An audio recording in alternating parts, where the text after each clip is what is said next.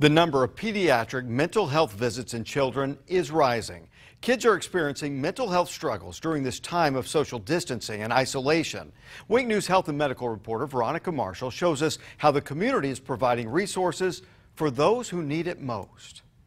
Behavioral and health challenges forced Gabby Bollier to spend time away from school and friends in middle school. The isolation came with a heavy price. I thought she was upstairs doing homework and she was actually upstairs Googling how to kill yourself. Jeannie Bollier says when her daughter returned to school, she took a box of Advil cold and sinus with her and um, took 18 of them in the girls' bathroom. But in that moment, Gabby reached out to a school staff member she trusted and got the help she needed. Now, the Bolliers want more options in schools for kids in crisis. We were able to kickstart that program to get the navigators in the school. Mental health issues or whatever um, all they need to do is contact their guidance counselor. Joe Craig, the first mental health navigator in the state, says the pandemic increased the number of kids struggling with mental health. A lot of anger, a lot of resentment, uh, but mostly depression. From September through mid November, Golisano Children's Hospital saw a 66% rise in children held for mental evaluation. Most were high school girls. Pediatric behavioral health doctor Jason Sabo says that's where Kids Minds Matter comes in. What Kids Minds Matter has, has been trying to do, and I think successfully doing,